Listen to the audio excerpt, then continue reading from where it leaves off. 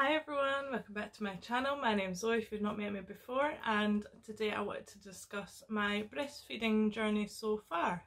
Um, so if you're not interested in breastfeeding at all then this video is not for you but if you're interested then I hope you enjoy. It's basically just my personal story with David. He's my first baby, first time breastfeeding obviously so I just wanted to let you know like my experience, what's happened with us. So I wanted to start at the beginning. when David was first born, he was feeding about every three hours at first and he basically just slept, ate and peed and pooped basically while he was a newborn the first few days as well.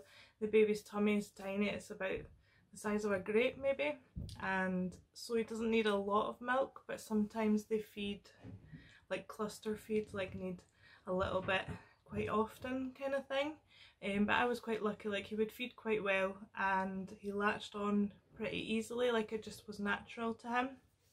Um, and I felt like it was natural to me as well because I think because my mum breastfed, my sister breastfed, I've been surrounded by it like for a long time so I just thought it was the normal thing to do for me and I think that's a good frame of mind to be in when you first start off rather than being anxious about and thinking about too much just kind of go with the flow and try your best and obviously it's not for everyone I'm not saying that it comes naturally to everyone but that's how it happened for me. The first few days as well um breast milk is like really concentrated it's called colostrum and that's all the antibodies and things that your baby needs as well so even if you can just breastfeed for the first few days that is very important for the baby and that sets them up in good stead for growing up, you know, and it gives them their antibodies and all the nutrients that they're needing. So even if you can only manage that few days, that's still making a huge difference to your baby. Um, day, day four or five, I think it was, my milk came in like properly and this was like the most painful part of breastfeeding.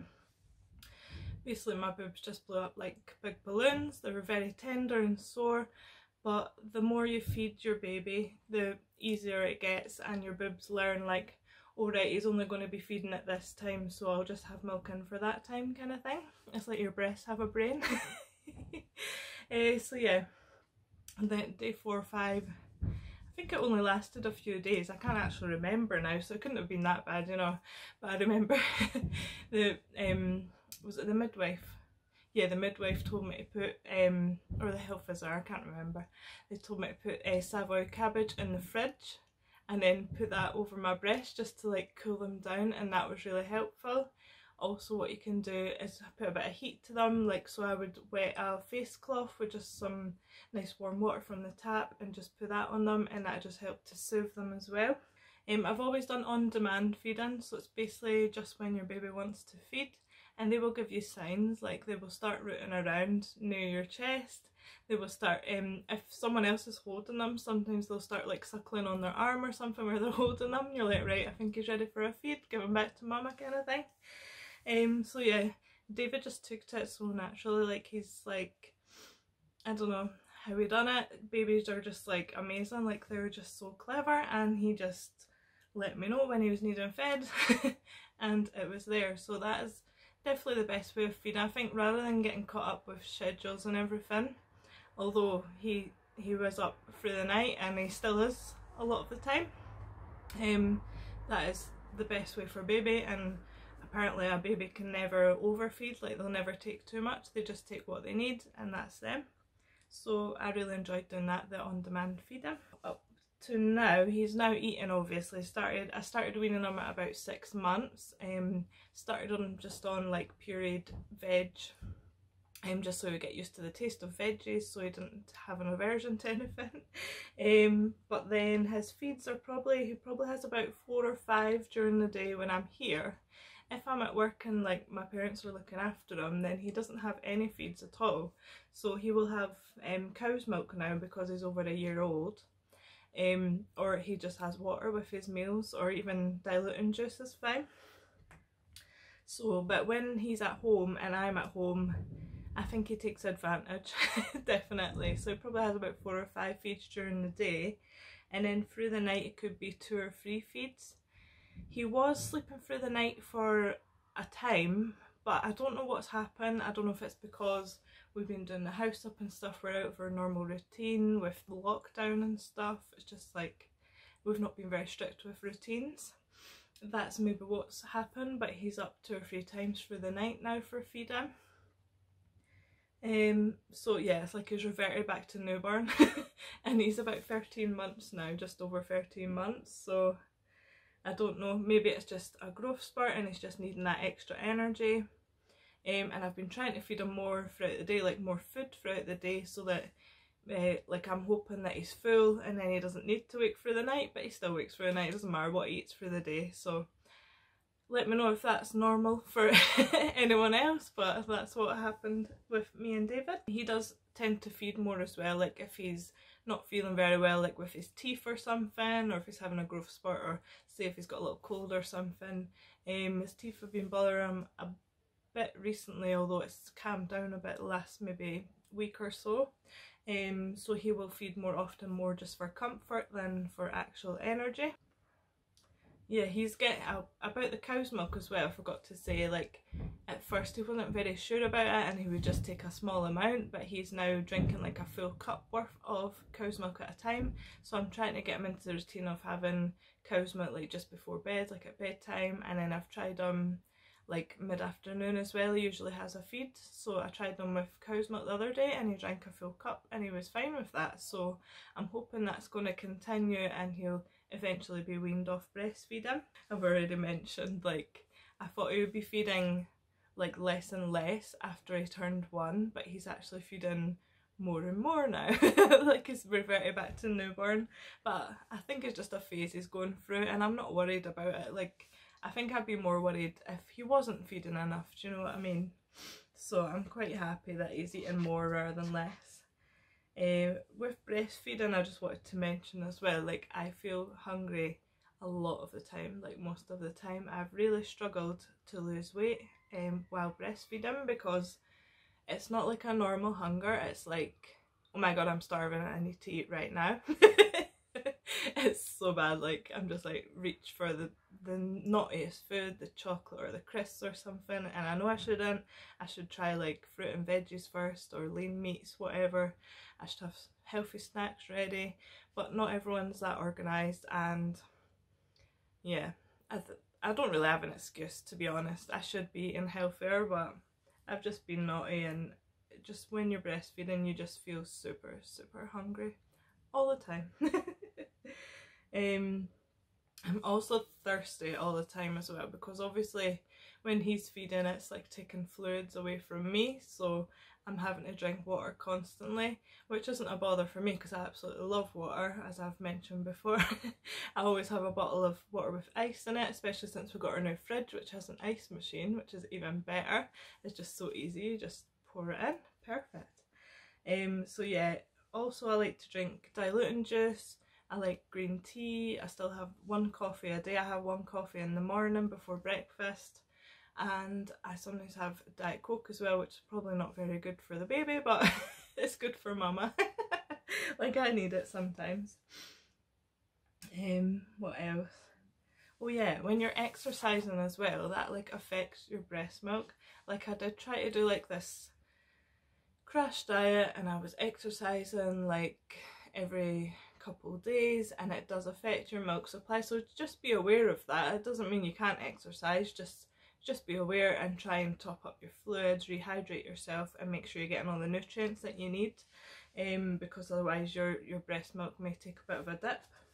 It's I think it's more like at the start when you're first starting to breastfeed that it would matter more but like because it's been over a year now that I've been breastfeeding like I know kind of what what my body can handle now um, so yeah, it's just more to be aware of what you're doing and that you might need to top up more from water or juice or whatever.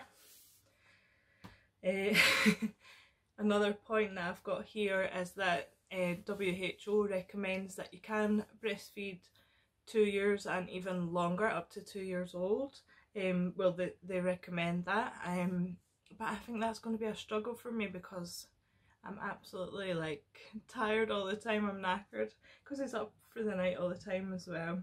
Sometimes I just feel like feel so drained from it as well. like it's not all bonding and cuddling and loveliness. Like sometimes it can be quite hard. It feels very draining on you. Um but there are more good days than bad I must say. Like I've not had that much struggle with it. And if he is breastfeeding up to two years old then that's fine like I'm not going to stop him but I just I hope that I hope that he stops like before that because oh, I'm just tired of it That's terrible, eh? I sound like a bad mum. But he's having cow's milk now, so like he's still getting the, the calcium and everything from milk. And he loves yogurts and cheese and everything too. Uh, another thing as well, he went through this stage of biting, which was horrendous. He actually bit one of my nipples really bad one time and I was really struggling to feed him. I actually went out and bought formula, this was before he was a year old. Um, but he just would not take the formula. He, he didn't like it at all. Um, I think he just knew. he's like, that's not a boob. he's, he's like so clever. But he, we did get through that stage and he does still bite occasionally, but it's more just when he's not actually hungry. He's just went on the boob just to like play around and then what I do is I'll just say, right, if you're going to bite mummy, you can't have any boob, so I'll put him down on the floor or in the corner or something and just ignore him for like 10 seconds. That's enough to like upset him, basically. Not upset him, but like make him realise, oh right, I shouldn't have done that. Um, and then he's usually fine after that. So it is really hard when they start to bite you. Like, I don't know if all babies do it, but David has done it to me. I think it's when he's teething as well. He's just, he's wanting to bite everything. And obviously when he's breastfeeding, that's the first thing that he wants to bite. So, but it was very, very sore. So I used a lot of uh, nipple cream and I got through it. It was fine. It, it actually only, it healed after like a couple of days with the nipple cream and I had to keep feeding them because otherwise you know, it, like I could feed them more on the other side, but I was still trying to feed them on that side just to like make sure the milk was flowing through because you don't want blocked milk ducts or anything like that because I'm sure that would be even more painful than a bitten boob.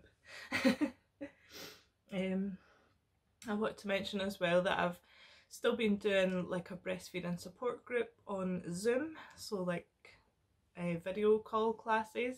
We've not actually been doing them for a while because of everything with school and lockdown and everything. Um, but we were doing it for quite a time uh, over last summer and into the autumn time and it was just really nice to have that support and just to have other people saying oh yeah my, my baby does that too kind of thing and just to sort of normalise the things that you're worrying about and you're like oh alright they do that too so it can't be that bad kind of thing.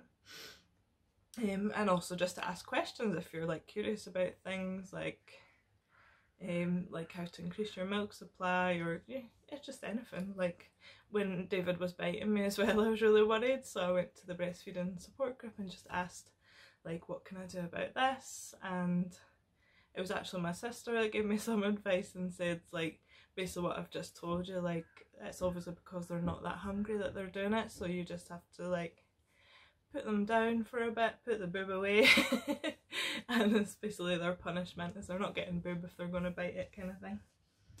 Um, so yeah, I've really enjoyed most of it. like I say, there's biting and there's been just days where I've been so just drained and tired and the hunger is mental.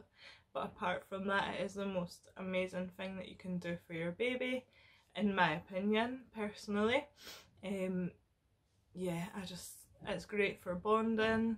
You're just sitting cuddling him, especially when he's a little newborn. You just sit and cuddle him in and he just sits and feeds on you and it's just lovely.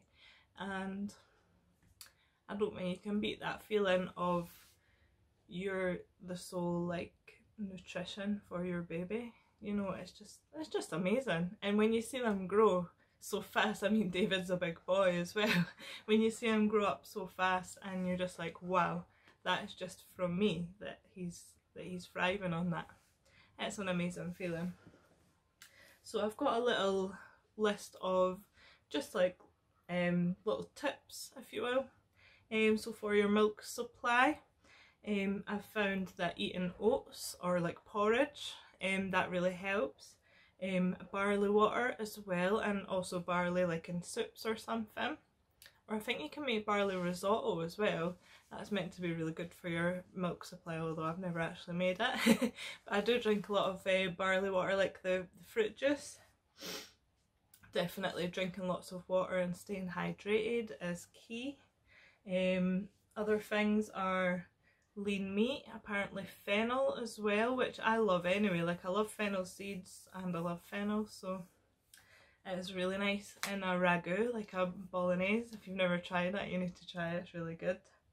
Um, wheat and brown rice are also good for your milk supply, so even just like whole wheat bread and like uh, wheat wheat mix kind of cereal kind of I couldn't say that there uh, dairy foods um obviously milk cheese yogurts which I enjoy eating them anyway so I'm quite happy with that um, and then I also take vitamins every day as well. I, I don't know if I mentioned that before. It's basically the Pregnacare ones but they're specific ones for breastfeeding um, that you can take so I've been taking them I'm still taking them now. I've been taking them over a year now. and David has little vitamin drops as well that I give him every day. Well, I say every day, sometimes I do forget. Bad mum, I know. Um, other things that might not increase your milk supply but they're good for baby is I was advised to drink peppermint tea for his wind if he has windy pops. Um, David's always been pretty good with wind, if I'm being honest. Like he's always good at um, letting go of his wind. but um, I, I do drink the occasional peppermint tea just because I like the taste anyway, um, and it's not going to do him any harm, kind of thing, you know. Um, also, especially when he was a newborn, I used to drink a chamomile tea every night before his like nighttime feed and that just helped him settle for the night and I've just started doing that again now recently. I kind of got out of the habit because me and Michael drink decaf tea anyway, so I would just like drink a normal cup of decaf tea instead, but I'm wanting to get back into my chamomile now. So that just helps baby settle for the night. It just, I don't know, it's just like relaxes you, doesn't it? Um, also, lots of fruit and veg and just a healthy, varied diet is good for your baby because obviously whatever you're taking in, all the nutrients are going to them through breastfeeding. So as well, you need to remember to try and like make sure you're getting enough of these vitamins and minerals, like all the different foods, fruits and veggies, meats, dairy, etc. You know what a healthy diet looks like, I'm sure. Um, but because baby is taking all the good stuff out of you, so you'll just be left with the crap. so make sure you get extra in just to like top yourself up so that you've got the energy to look after the baby, you know um, other things just to be aware of like not like don't ever do this but just like to be aware of. Um, they recommend alcohol just one to two units once or twice a week. So that could be like a bottle of beer or a small glass of wine I think. Um, to be honest I've not really fancied alcohol since obviously before I got pregnant. Um, so I've not really wanted to drink that much. I've, I've had the occasional glass of wine um, or a bottle of beer, like with dinner usually. Um, I think I've had like maybe some cider in the summer when it was hot weather, but I've just not really wanted it to be honest. But if you do like to drink, then obviously just be aware that the, that affects baby. It does go through your milk and you have to leave it a certain amount of time so what I would say is like have if you're having a drink, have it like just after babies had their last feed before they go to bed. So then they're having like a long stretch of sleep before they need their next feed. So you're getting like a lot of time in between for the alcohol to go out of your system again kind of thing. Um, yeah, that's what I would say. um, also what is recommended is no more than two portions of oily fish per week which to be honest I probably don't have that much. Although over Christmas I, I, I, was eating a lot of smoked salmon because I got this big huge pack of it and no one else in the house eats it. So it was just me but I was having like one slice a day kind of thing with breakfast. So but that's not every single week that I would be doing that. It was just a special occasion for Christmas. Um, and I do like tuna as well so sometimes I have like tuna mayo on a jacket potato or something for a meal but I don't think I go over the two usually. Um, caffeine as well. Um, I think it's yeah I've wrote, wrote it down here. Um, 200 milligrams a day is what is recommended. So I will usually have just one coffee a day, and I have that in the morning, like as soon as I wake up. That's like my little morning routine, if you will. Um, and then I'll usually have maybe one or two diet cokes depending on how much energy I'm needing.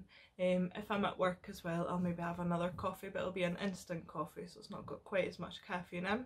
Um, and also I won't be feeding David for a while when I've had that at work, because obviously I'm at work for the whole day, so I don't worry about it as much when I'm away at work. Um, and I also drink a lot of decaf tea and green tea and water and diluting just like I've said. So I do like a drink. I do like a hot drink especially like green tea and coffee. Um, so yeah um, I don't think I go over the 200 milligrams per day allowance very often and when I do it's usually when I'm at work or like I, I know that I'm not going to be feeding David for a while.